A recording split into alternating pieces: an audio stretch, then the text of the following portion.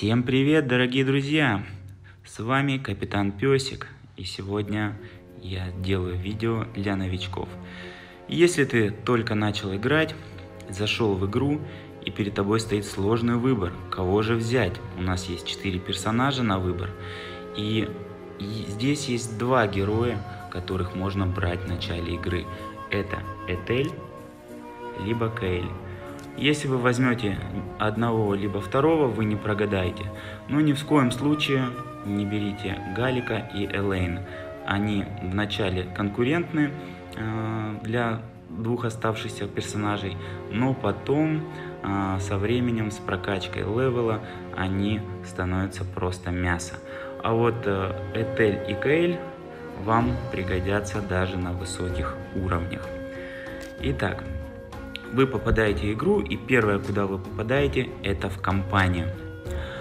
А, не спешите бежать вперед, сломя голову, а, чтобы пройти всю компанию, вы все равно ее сразу не пройдете. А в первую очередь, что надо сделать, это открыть вот эту вкладочку «Миссии» и внимательно ее изучить. Это основная линейка развития вашего аккаунта и надо следовать поочередно всем, всем, всем миссиям, выполняя их. Миссии непосредственно связаны с испытаниями. У нас здесь испытания героев, артефактов, подземельев и арены. Выполняя э, нашу линейку миссии основную, мы непосредственно будем выполнять испытания. Между ними находится вот такая вот вкладочка, как задание. Очень важно выполнять эти задания каждый день. У нас есть дневное задание, недельное и месячное. Когда мы выполним 30 раз дневное задание, мы получим сакральный и темный осколок, что в этой игре очень редкие предметы. Дальше у нас идет вкладочка «Клан». А, в миссиях будет э, такая миссия в линейке. Вступите в клан, нанесите владыке демонов – урон. Это будет в дальнейшем. Я думаю, в этом вы разберетесь. Здесь ничего сложного. Следующая вкладка это у нас все герои. У нас здесь вот такое вот количество фракций. В каждой фракции есть свои герои. И мы здесь можем посмотреть любого героя, почитать его навыки, почитать его скиллы, посмотреть его параметры. А, здесь все понятно. Дальше у нас есть коллекция. В коллекции находятся все наши герои, которые у нас есть. Также у нас здесь есть хранилище. А, в начале у вас будет очень мало места, но в дальнейшем вы будете его увеличивать, увеличивать. А, справа мы видим наши артефакты. А, здесь также у нас есть вкладочка навыки, где тоже можно почитать навыки, их описание и таланты. Но это вам тоже пока что не нужно, таланты это будут развиваться чуть позже. Дальше у нас здесь вот такие есть часики в углу экрана. Это награды за время игры, в игре. А, когда вы будете в игре 3 часа, вы получите максимальную награду. Здесь э, самая основная награда, все-таки которую стоит забирать однозначно, это вот эта вот бутылочка. Бутылочка восстанавливает нам всю энергию. Давайте э, перейдем как раз сейчас к энергии и посмотрим. Вот у нас сверху энергия. Э, здесь у нас есть два числа. Первое число это сколько энергии у вас на данный момент есть. И второе число это максимальное количество, до, до какого рубежа, скажем так, она может регенерироваться. Поначалу а, вы, у вас будет э, очень много энергии, и вы подумаете, что так будет всегда. Но на самом деле нет. Энергия это самый важный ресурс в игре, и как вы его будете вкладывать, э, зависит ваше успешное прохождение, улучшение аккаунта. Поэтому э, самый главный совет по энергии это в первые дни как можно больше позалипать и использовать всю энергию, чтобы она уже начала регенерироваться. А, следующие у нас идут жетоны арены. Давайте переместимся, посмотрим, что собой представляет арена. А, в арене э, это PvP а, контент, мы можем здесь атаковать, нападать на кого-то, также мы выставляем защиту, чтобы на нас нападали, можем посмотреть историю наших э, сражений И э, можем посмотреть свой рейтинг. Вот у нас здесь очень много лиг. Я нахожусь уже в последней золотой лиге, которая добавляет очень хорошие бонусы. И э, раз в неделю приходят э, вот такие вот сундучки, сундук лиги, в которые тоже выпадают очень хорошие предметы. Немаловажный следующий ресурс это серебро. Серебро это такой ресурс, которого всегда не хватает. Не спешите тратить серебро, э, попросту затачивая ненужные вещи. Серебро мы можем получить разными способами. Серебро дается при прохождении кампании, при прохождении подземелий. В общем, серебро падает везде, но всегда его нам не хватает. Очень важный ресурс – это рубины. А, рубины выпадают э, достаточно редко, точнее, они нигде у нас не выпадают.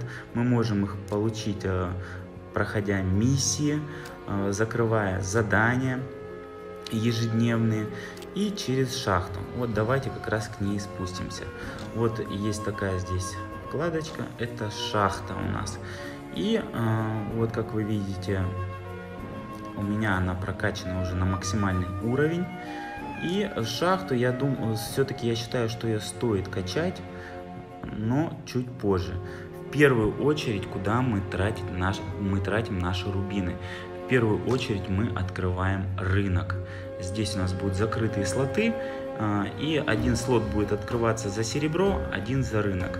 Ой, за рынок, за рубины. И в первую очередь мы открываем здесь полностью все вкладки рынка, потому что здесь у нас выпадают э, и синие э, осколки, и достаточно хорошее оружие в дальнейшем. Поэтому в первую очередь, куда мы вкладываем рубины, это рынок. Дальше уже по вашему выбору.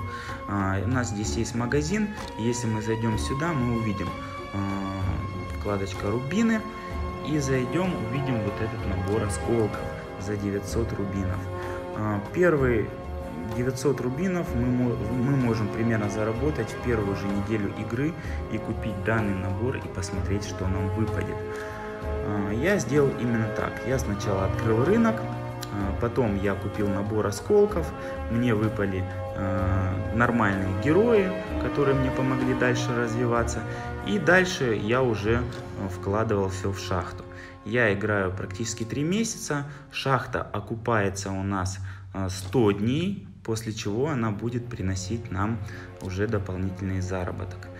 То есть, если вы планируете играть долго и вам игра понравилась, то стоит, конечно же, открывать эту шахту. Дальше мы перейдем к тренировочному лагерю. Я его не открывал, я считаю это напрасной тратой рубиной, рубинов, потому что здесь герои качаются очень медленно. Вот еще куда стоит э, вкладывать рубины, это, конечно же, в бутылки вот такие вот энергии. Мы можем их здесь купить за 40 рубинов. А, но все-таки э, стоит покупать эти бутылки, когда вы уже будете 50 плюс левелом. Пока что лучше их копить. Так, куда мы двигаемся дальше? Вот здесь вот такой чемоданчик в правом углу экрана. А, здесь а, у нас падают наши покупки, награды. Здесь мы можем их забирать. Здесь у нас есть чат, есть общий чат на канале. И здесь еще есть клановый чат. После того, как вы вступите в клан, он у вас появится. А, здесь я сильно не буду останавливаться. События у нас вот справа. А, здесь их много достаточно событий, они меняются у нас а, в течение, там каждое событие занимает определенное количество дней. В общем, на это, это вам пока не нужно, этим вы разберетесь в дальнейшем. Дальше в левом верхнем углу экрана вы можете посмотреть свой уровень, нажать сюда. Нажав сюда, мы перейдем э, в наш профиль. Советую всем сразу же сделать привязку к Плариуму, потому что было сообщение как-то от Плариума, что привязывайтесь обязательно, иначе Плариум не несет ответственности за ваш аккаунт. То есть, если у вас аккаунт куда-то пропадет или что-то с ним случится, ничего вы не сможете никому доказать, поэтому сразу же подключаемся к Плариуму. Здесь а, также вы можете улучшить качество а, изображения, музыку, эффекты, посмотреть свой ID в игре и поменять язык. Дальше у нас здесь есть вот такая под нашим левелом штучка, как XP. Это бустер опыта. Когда он у вас висит, вам надо обильно качать корм. По прокачке корма есть отдельное видео, посмотрите его в интернете, я тоже не буду его останавливаться, на этом останавливаться. Но самое главное, если у вас висит бустер опыта, не ходите ни в подземелье, не добывайте шмот, а именно прокачивайте героев, потому что вот эти свитки опыта, это тоже э, очень редкие предметы в игре. Ниже у нас есть такая э, вкладка, как «Пригласи друга». Это реферальная награда. Вот я пригласил двоих друзей, и когда они докачаются до определенного уровня, э, мне вот такие вот награды будут. Вот до 40 они докачались, эти награды я уже получил. Когда они качнутся до 50 я получу уже сакральные осколки. Следующая вкладочка ниже. Здесь у вас будут награды за посещения. А, вы их просто заходите ежедневно и забираете. А, давайте перейдем вот сюда, вот в наш портал и посмотрим. Здесь у нас есть 4 вида разных осколков. С каждого вы можете посмотреть шанс выпадения того или иного героя. Вот они у нас разделяются на обычных, необычных, редких, эпических и легендарных. Как вы понимаете, легендарные это самые крутые герои. А, и мы можем достать из этих осколков данных героев. Здесь мы также можем посмотреть шанс выпадения этих героев.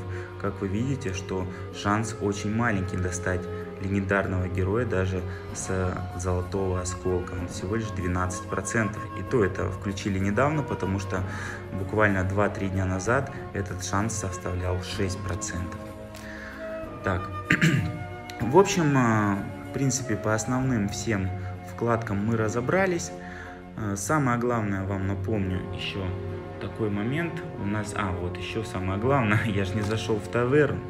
Что мы делаем в этой таверне? Здесь у нас высвечивается слева список наших героев. И э, первая вкладка справа это повышение уровня. Здесь мы можем прокачивать наших героев э, вот такими вот героями однозвездочными. Они называются корм.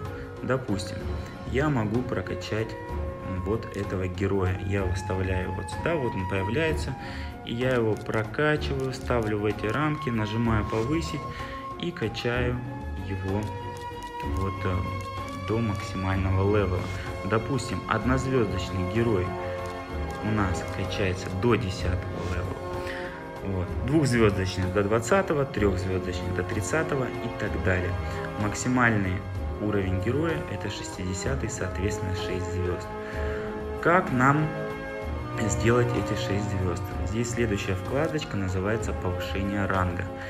Мы можем повышать ранг, вот мы возьмем предыдущего героя, он у нас однозвездочный, мы ставим его вот сюда и повышаем ему ранг. Повышаем ранг мы ему аналогичным героям, и он у нас становится уже двухзвездочным. Чтобы апнуть его на 3 звезды, соответственно, надо также прокачать его до 20 и э, скормить уже в него двух двухзвездочных героев. Вот я вам покажу еще на примере вот двухзвездочный герой 20 уровня мы вставляем, чтобы нам его апнуть до 3 звезд, мы в него вставляем два двухзвездочных героя и повышаем. Теперь у нас это превратился в трехзвездочного героя. Итак, вот у нас есть трехзвездочный герой, мы его вставляем 30 левела и апаем его до 4 звезд. И так далее, пока мы не сделаем 6 звезд героя. Вот, допустим, Эрл у меня есть прокачанный до 6 звезд. Дальше следующее у нас улучшение навыков. Очень важная вещь прошу уделить этому внимание. У нас есть сверху, как вы видите, три разные типа книги. Это редкий том, а, эпический том и легендарный. И самая главная ошибка, а, вот что мы делаем, мы можем, вот допустим, берем ред, редкого героя, вставляем, и мы можем прокачать ему навыки. Если мы класснем на навыки, мы увидим, что навык, навыки у нас улучшаются вот таким вот образом. Они качаются рандомно, то есть если мы вставим в него книжечку одну, может увеличиться любой навык. Но я составил э, список героев, которых стоит вкладывать э, рарные книги. Из темных эльфов это Холодное Сердце и Каэль, из Священного Ордена это Этель, э, из высших эльфов это Лекарь, из племенов Агринов это Ревоглаз, из Банеретов это Шевалье, из Орд Нежити у нас Нетопри. И вот еще появилась у нас новая героиня-мученица, в которую тоже стоит вкладывать эти рарные тома. Э, из э, остальных героев я не нашел больше кандидатов, в которых стоит вкладывать эти книги. Э, когда у нас мы берем нашего основного героя, Этели или Каэль, Этельку или Каэля, мы можем смело вкладывать их книги на максимум сразу. Вот она у меня прокачана. На основного своего героя мы не э, бережем книги, сразу их вкладываем. Соответственно, для эпического героя нам нужны эпические книги, для легендарного героя нам нужны легендарные книги, у меня их нет ни одной. Это очень-очень редкий предмет в игре. Самая главная ошибка в игре, это когда мы в редкого героя вкладываем эпическую книгу. Не вздумайте это сделать, вы об этом будете очень сильно жалеть. Дальше у нас есть развитие вкладочка. Здесь вот, как вы видите, у меня звездочки покрашены синим цветом. И мы сейчас возьмем героя не покрашенного. И мы с помощью бутылок, которых мы будем добывать в подземелье, можем красить эти звездочки. Давайте потратим одну, ладно, это копейки сейчас на моем уровне. И мы увеличиваем дополнительные пара, а точнее основные характеристики, основные параметры героя. А своих основных героев надо красить по максимуму, но ни в коем случае не стоит красить так называемый корм, который у нас идет для повышения ранга героев. Так, ну по всем основным э, аспектам игры я пробежался. Надеюсь, видео для тебя будет полезным. Присоединяйся к нашему дружному комьюнити. И если тебя не напрягает мой голос, моя дикция, ставь лайк, подписывайся на канал, будет еще много видосиков. Вот и все, друзья. Всем пока!